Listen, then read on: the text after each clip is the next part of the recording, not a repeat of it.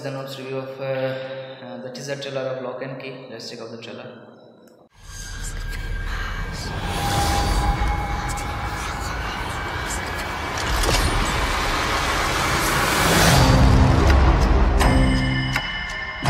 This world has so much potential. To be reborn and consumed. To be ruled.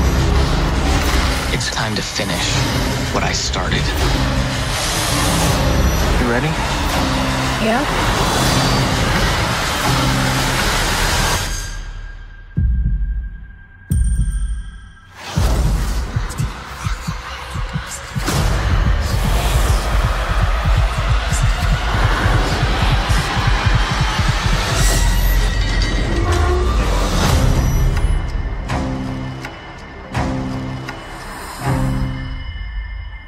Okay, so I watched the first season and it was uh, super lengthy.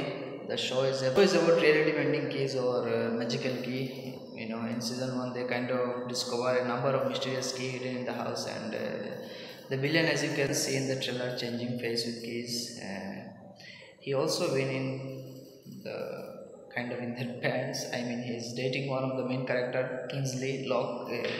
Uh, Kingsley Locke, yeah, played by Emilia Jones. The villain, you know, the guy who is to date Sabrina Carpenter, something Gluck, his name Griffin Gluck, I guess. Yeah, he's the main, he's the main asshole with this. Anyway, it's uh, it's all about opening up a demonic portal, and uh, I hope they made this season a little fast. You know, that season one was pretty boring. You know, it's good, but